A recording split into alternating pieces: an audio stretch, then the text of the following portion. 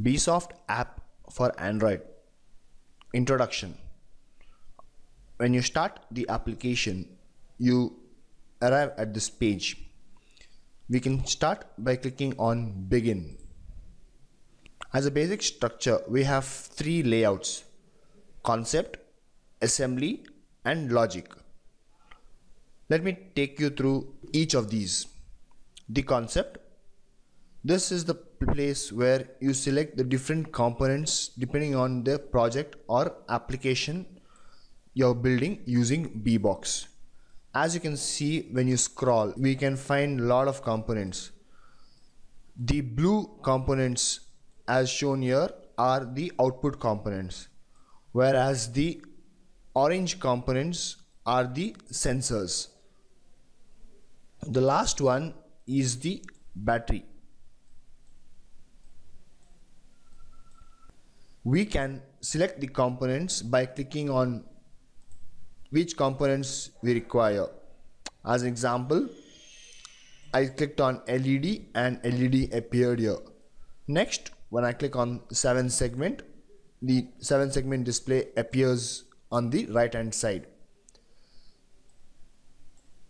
Similarly click on sensors it appears on the right hand side we can deselect or remove the components from the right hand side by pressing for a long duration.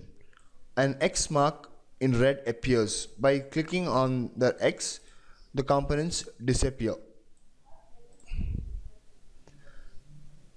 Now let me place the components back.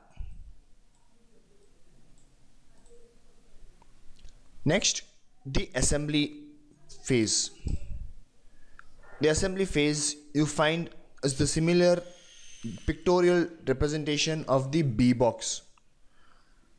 In this page, we virtually construct the hardware.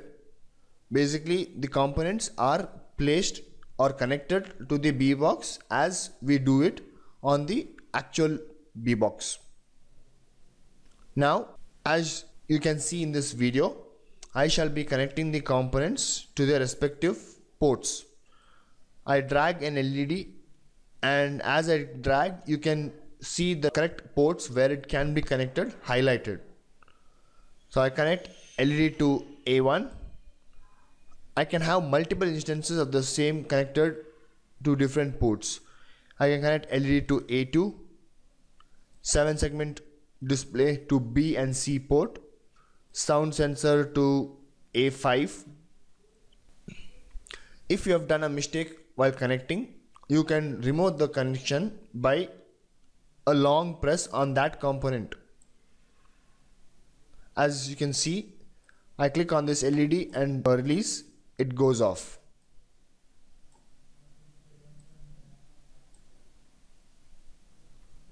Let me place back the components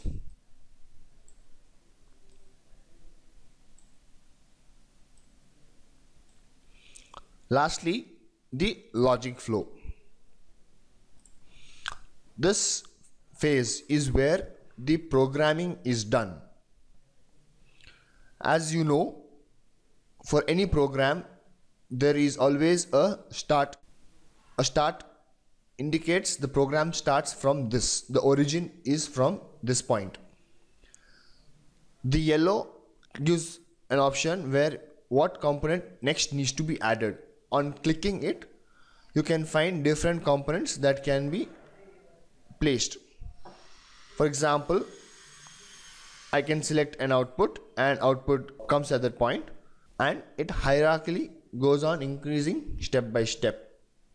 Now if I click again on the same yellow the same set of components appears. Click on if I can click on wait and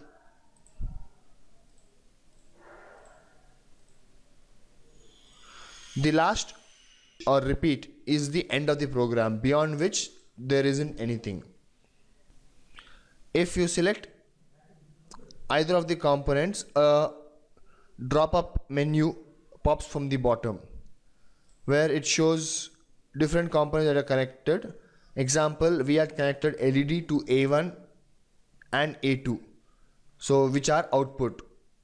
We can select the components by tick mark and the scroll which can scroll values.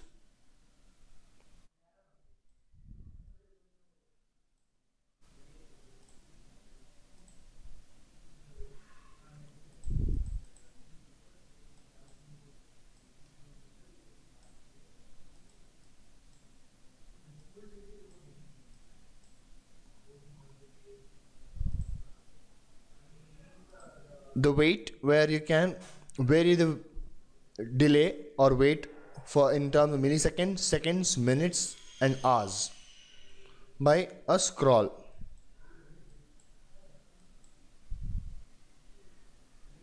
Lastly, the if since you are connected sound sensor to A5, A5 appears here. If is nothing but the decision tab. This is where we take decisions to check the sensor value and accordingly have actions done over it. So A5 and we have options of less than, greater than, equal to, not equal to. And its value which can be varied between 0 to 1024. Lastly, if we have several options on the right hand side, since we need to save the program for future use, a save option is available. By clicking on save option, it tells you save the project and enter the file name. File name, any file name can be given such as program 123 program underscore 123 program space 123 I shall select program 1 and click on OK. Now your save programs can be accessible by clicking on open program. Here all the programs that are saved have been stored. Just like a present program which was named as program 1 is saved over here and you can click on them to open it. Next we go to settings it will ask whether the Bluetooth needs to be turned on. You click on allow. Here for uploading the program from the tablet to BiBox, we have either USB mode or via Bluetooth. In case of USB, you need to connect the USB cable from your phone or tablet directly to the BiBox by using an on-the-go USB cable. Else, if you are connecting via Bluetooth, we select Bluetooth and then scan for devices. If your BiBox is on, then in the scan result, your BiBox's MAC ID will be shown. You can find the Bluetooth MAC ID of your BiBox on the starting screen of the OLED as you power up the BiBox. You select the BiBox MAC ID with the one matching your BiBox. Next, we click on the upload button to send the program to BiBox.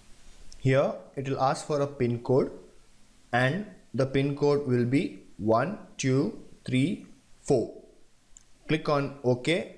Once you click on OK, the program will be uploaded to your BiBox and BiBox will start working.